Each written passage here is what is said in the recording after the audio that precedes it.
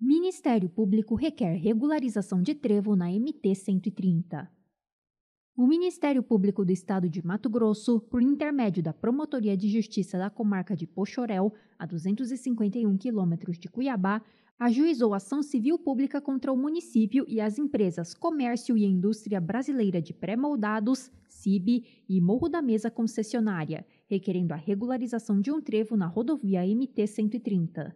Conforme a ACP, o trevo de acesso à CIB já existente no quilômetro 93 oferece riscos à segurança viária.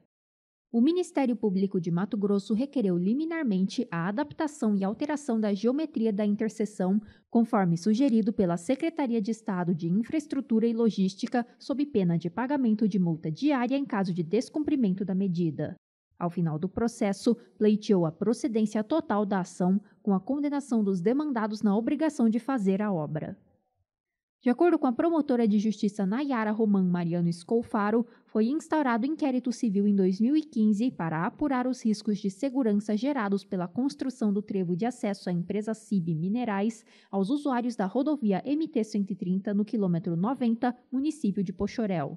No início das investigações, foi oficiado à empresa CIB e à concessionária administradora da rodovia, Morro da Mesa, para que apresentassem estudo técnico para a construção do trevo de acesso localizado nas proximidades de Alto Coité, Pochorel, bem como projetos executivos e a respectiva autorização do órgão competente.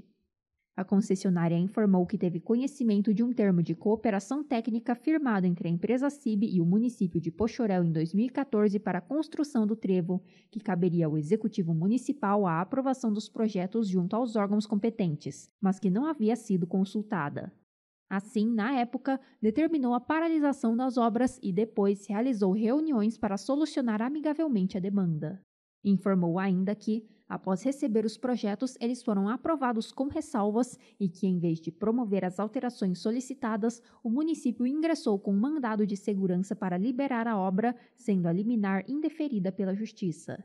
No decorrer das investigações, o Ministério Público de Mato Grosso notificou os três requeridos para que esclarecessem os fatos até determinar que fosse oficiado a Sinfra, requerendo a vistoria no local por técnicos e profissionais de engenharia para emitir laudo ratificando a aprovação do projeto técnico já apresentado e executado ou elaborar relatório apontando correções, adaptações ou refazimento de parte da obra para garantir a segurança da via.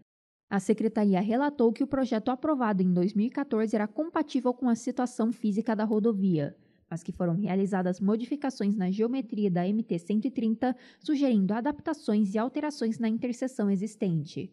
Como nada foi feito, a Promotoria de Justiça de Pochorel ajuizou a ACP. Esse foi um conteúdo do Ministério Público do Estado de Mato Grosso.